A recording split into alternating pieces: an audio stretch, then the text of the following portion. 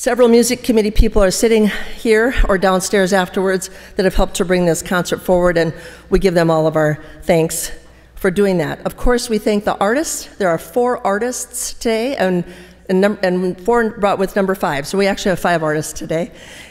And so happy and thankful to all of you for performing and looking forward to that. Today, I want to tell you that it's okay to clap. We're in church and it's okay to applaud. And you can do it whenever you want. And if you give out a whoop whoop, that'd be okay too. At our church, the organ sits right up there in the balcony. And if you want to turn around and look, you are more than welcome to do that. The sound is coming from up here, but the instrument is right up there. John Haig will be playing from this piano down here. So, just a little detail there. You have a program in front of you, and if you don't, raise your hand, we'll bring one to you but uh, you'll be able to follow along on the program. The other thing I want to tell you is that when we're done, the artists will be down in the fellowship hall for refreshments afterwards. You don't need to stay here to shake their hand. You just head on downstairs when it's done, and they will see you downstairs. The other thing I want to tell you all is that we are recording this today. It will be brought up on uh, YouTube later tonight. TLC Madison YouTube. Okay? That's how you can find it if you want to hear it again. If you want to have somebody else listen to it, that's how they can hear it as later today.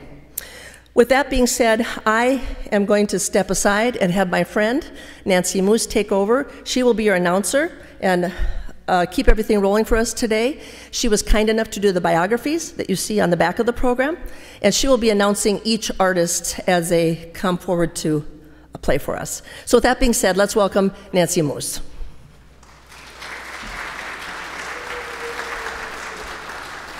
Actually, I prefer that you welcome the artists. so, anyway, as Virginia said, uh, welcome. We are really excited to present the program today.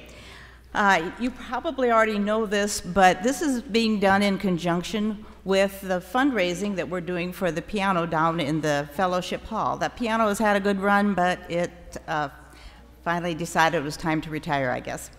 So um, we are asking for a um, free will offering. There are baskets in the back of the church, so when you walk out, but if you don't get around to it then, come down for refreshments, as uh, Virginia said, and there's opportunity down there as well. Meanwhile, let's get on with why we are here in the first place, which is the recital. Alex Eikamp, as most of you know, is the organist here at Trinity, and he's going to open the concert today. He's a native of this area, and uh, I believe he took his early organ lessons on this organ right here at, at Trinity. He's going to be playing some pieces by Johann Sebastian Bach and Marcel Dupré. Uh, most of you probably know things about Bach. You know, he was a German composer and musician, and he composed a lot of music for Lutheran churches, so we feel right at home having him being played here today. And since the 19th century, uh, there was a Bach revival, and he's been generally regarded as one of the, the greatest composers in the history of Western music. So I'm sure you've all heard of Bach, and for exactly that reason. The other composer that he's playing is Marcel Dupré. He's a French organist and composer and pedagogue. Uh, he was a child prodigy. He was composing music by the time he was 13 and getting it published, and by the time he was, I think, 16, he was already creating symphonies. But uh, it says his uh, more successful works combine virtuosity with a high degree of musical integrity quali and qualities found in the compositions being presented today, which is the Cortège et Litanie. Alex says that he chose these pieces uh, because they're a couple of his favorites, and he thought they'd be a nice way to open this program. And he also thought that every program needs plenty of Johann Sebastian Bach, so we're doing that today. And the piece that is by Dupré will show off the various uh, tonal colors of the organ along with the range of our organ. organ. So our organ will work really well with the choices that he has made today. So I would like you to uh, listen to both pieces. He's going to play them back to back. Uh, he is playing the prelude and fugue in A major, and he's also playing, as I said, the cortege et litanie. So, Alex?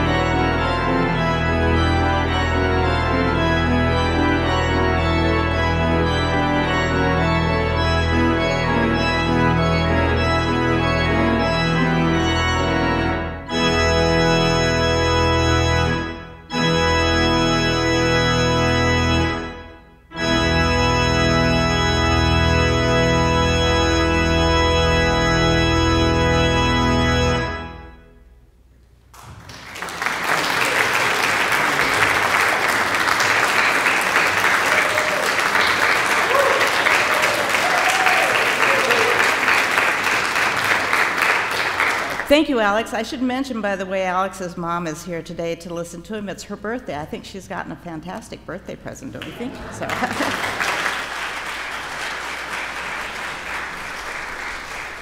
Um, our next artists uh, today bring us a change of pace and a change of instrument. We have both John Haig and John Pullman here. They were good friends, they are still good friends um, during their years together at, well, Never. we assume they're still good friends. Uh, in, in, but they were together in Dell Rapids, but we also consider John a kind of a hometown boy because he graduated from here in Madison and uh, when his family moved here, when his dad took the job as a band uh, instructor at, uh, at the high school. But uh, anyway, they uh, have chosen a number of pieces here that uh, are by Wayne, it's Rufus Wainwright, Peter Gabriel, and by Jane Seabury.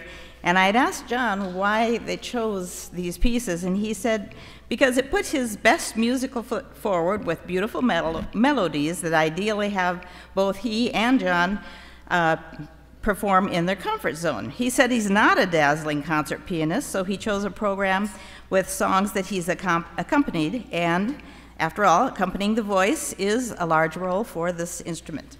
Uh, he also said he noticed that in the uh, pieces they've chosen, that they have kind of a lifelong journey. It ranges from a child to a somewhat lost 20 uh, or 20 something, uh, trying to grapple with the superficial ways of the world, and then to finding love, nature, and contentment in midlife, and finally, a whimsical pondering of death as one walks through the graveyard. Meanwhile, I'm going to turn this over to both of the Johns. okay, and uh, let them tell you a little more about what they're playing. Really quick on from us. Uh, first of all, just want to say thank you for the opportunity today to John and to the church here for, to be able to sing. And uh, just know our teachers, when we were growing up, they would say John, and they would quite frequently we'd be getting in trouble. So they just had to say John once, and we would both look knowing that we were caught once again doing something we shouldn't be doing. So um, the idea today with these four pieces really is it's a circle of life a look at things. And uh, so John and I are going to perform them kind of one right after another. And so, with apologies to Virginia, who said to clap whenever, we're going to try to do these just one after the other. And then at the end, if we have earned some applause, feel free to do so. So, thank you.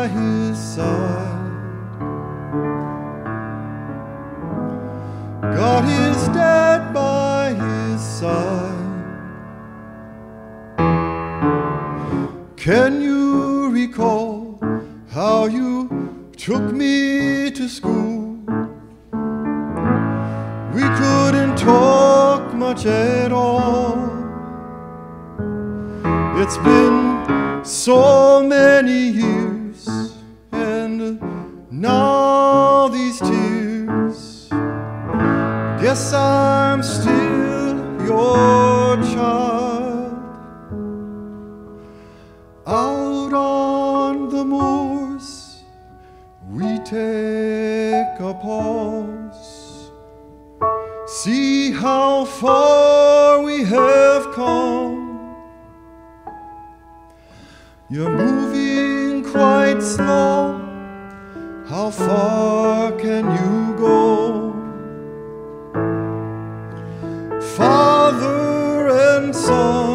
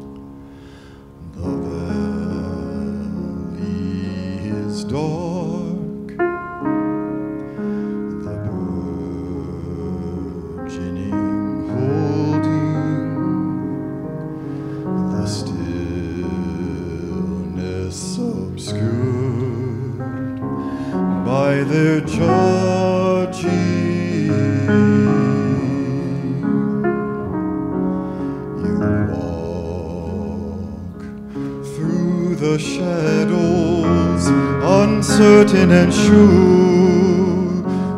hurting, deserted by the blackbirds and the staccato of the staff. And though you trust the light towards which you went,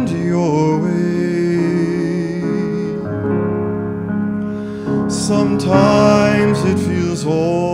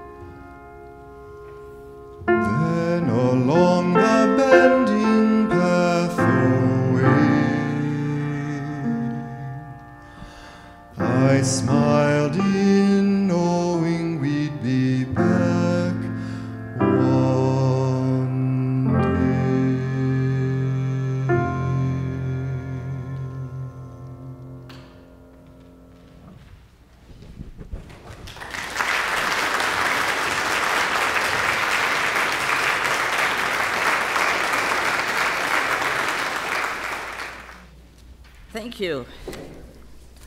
If this continues to get any better, I don't know how I can, I love this. Uh, Our next uh, two organists are from uh, First Lutheran in Sioux Falls. We're delighted to have them here. Um, The uh, first three that we've heard from are all South Dakotans, if you've looked at your uh, uh, bios on the back. But these two gentlemen still are hope, happy to be in South Dakota doing what they're doing. it's uh, Zachary Brakoff and Ma- Matt Tylitsky. I believe I've got that right. But uh, they have chosen a number of different pieces by a variety of artists, and I'm going to turn this over to them to tell you what they're going to be doing and what they will uh, expect from you, because if you'll notice, part of it you'll be doing some singing, but uh, they're going to let you know about all of that. Thank you. Yes, thank you. We're, we're so happy to be here today.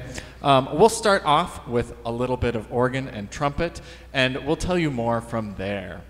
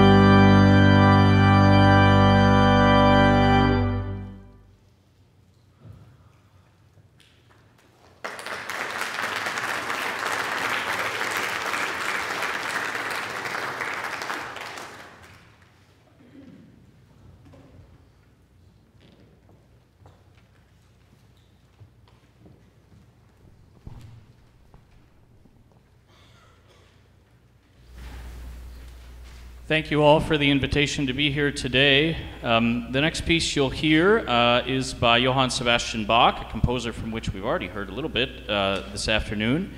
And um, it was mentioned before, Bach served uh, many Lutheran congregations as a church musician and an organist in his uh, life. This piece, however, uh, was not originally written for this instrument. Instead, it's a transcription Bach adapted for the organ. Um, he took his own music from the second movement of his Cantata 137, an aria, and based, uh, and it's based on the familiar hymn "Praise to the Lord, the Almighty." Today, what you'll hear, the right hand plays what was originally the role of the violin, the left hand plays the role of the cello, and the feet, the pedals, take the familiar melody, which was originally sung by an alto voice. Here's the text upon which Bach based this setting of the hymn. Praise to the Lord who directs everything so gloriously, who leads you surely upon eagle's wings, who sustains you as it pleases you. Have you not sensed this?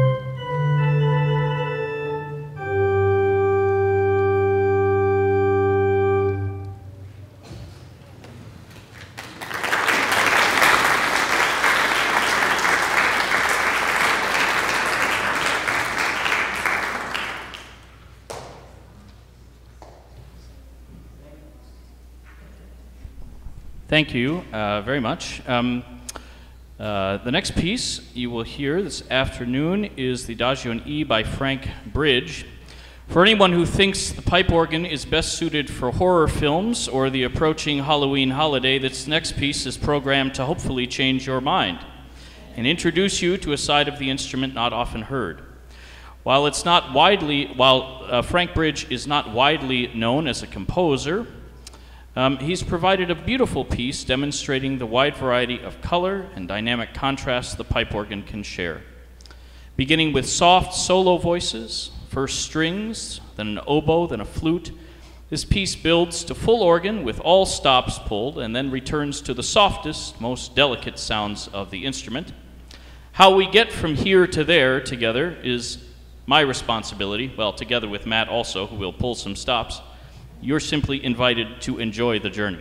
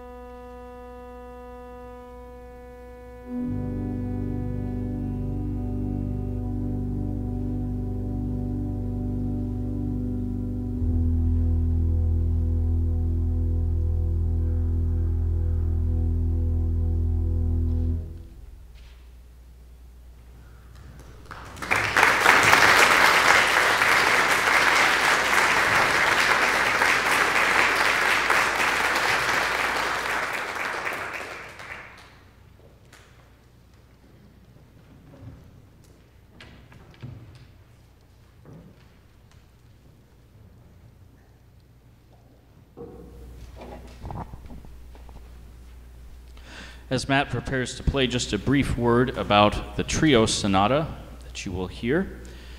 Um, sonatas, as is typical, uh, most are in three movements, and you will hear the first movement of Bach's Trio Sonata in C major today. Um, these famous trio sonatas for organ are celebrated both as musical masterpieces and an immense musical challenge for the organist. They were originally written as audition pieces for Bach's eldest son, Wilhelm Friedemann Bach, to play and impress potential employers and I suppose we could add learn independence of appendages when playing this instrument. They have evolved to be well beloved pieces central to the repertoire of the organ. Today we hear the first movement of the fifth sonata. It's characterized by a bouncy and joyful melody which is passed between different voices. Perhaps you can imagine a trio of instruments playing together as you listen to the interplay between the right hand, left hand, and pedal.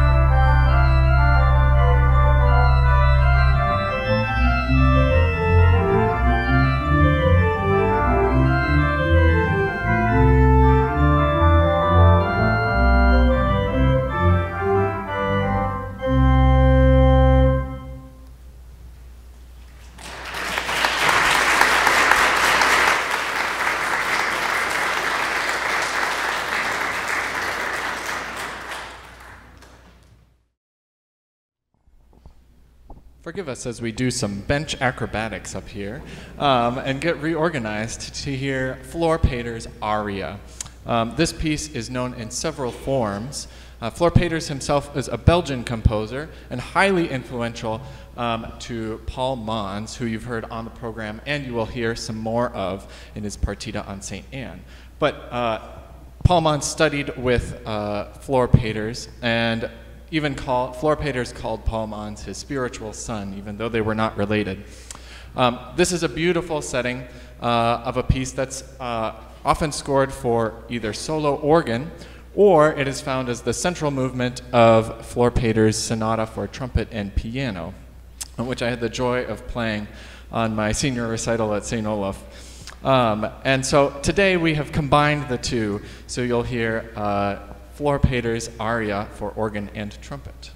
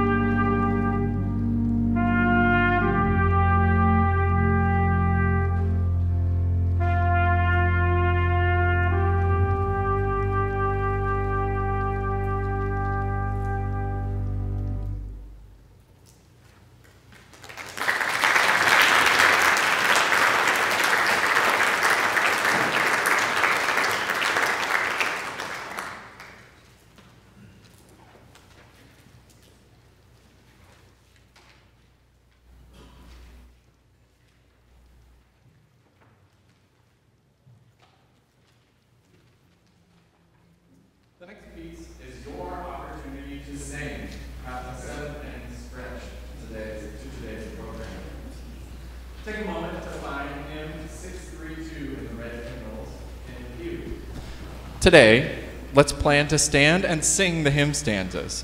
You may be seated between each stanza while the organ offers variations on this well known tune.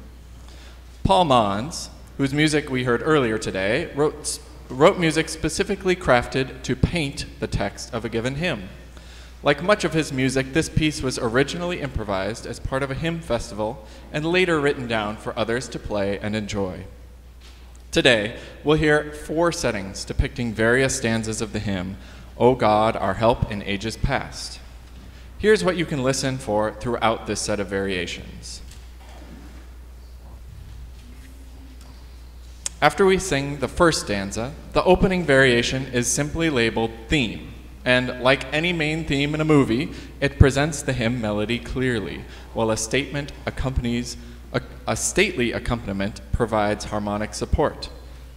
After singing stanza 3, the second variation we'll hear today is marked adagio and depicts the text of the third stanza Before the hills in order stood, or earth received its frame, from everlasting you are God, to endless years the same. Musically, Manz improvised this in the form of an ornamented chorale. No, this doesn't have anything to do with the Christmas ornaments. It's a little early in the year for such things. But like the ornaments on a Christmas tree, the hymn melody is decorated or expanded to include additional notes outside of the basic tune. This musical form dates from the 17th century and was particularly chosen by Manz to reflect the nature of this stanza, which speaks of the world's foundation and the enduring presence of God. After singing stanza 4, listen as Manz paints the text of stanza 4. A thousand ages in your sight are like an evening gone. The mysterious quality of this variation is grounded in the simplicity of its form. Like row, row, row your boat, this variation is a round, or in musical terminology, a canon, with two statements of the melody heard simultaneously, one following the next. With one statement of the tune placed on another, a natural shadow of the rising and setting sun results. At the conclusion, it fades away and decays, again reflecting the text of stanza 4. Following stanza 6, a fiery final movement concludes the variations. Beginning with a fragment of the tune, listen for the melody stated twice, once in the pedal and a second time in the top voice. We sing today in faith God, our help, is not only a God of ages past, who formed the hills and framed the earth but as the hymn finally promises, this God is still now our guard while troubles last. And by the forgiveness of the cross, this God is our eternal home. Reminder please stand to sing, and you may be seated between stanzas during the variation.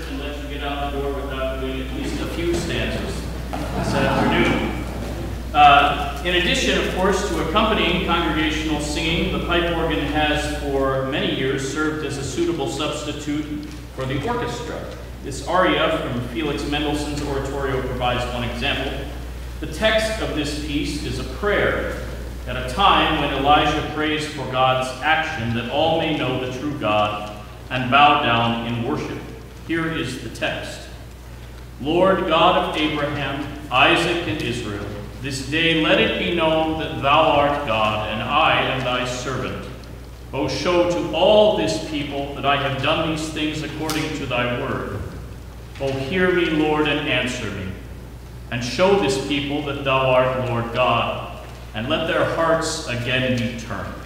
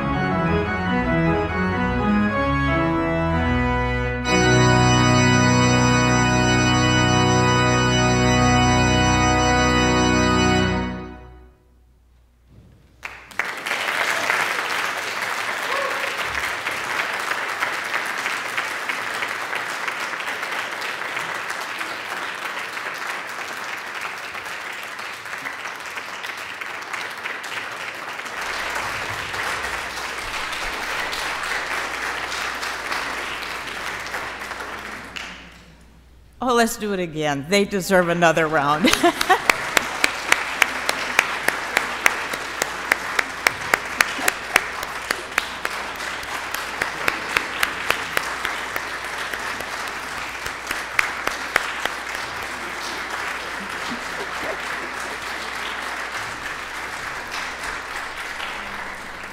Thank you to all five of our musicians today. I am absolutely thrilled to see all of you here and even more thrilled to be listening to them.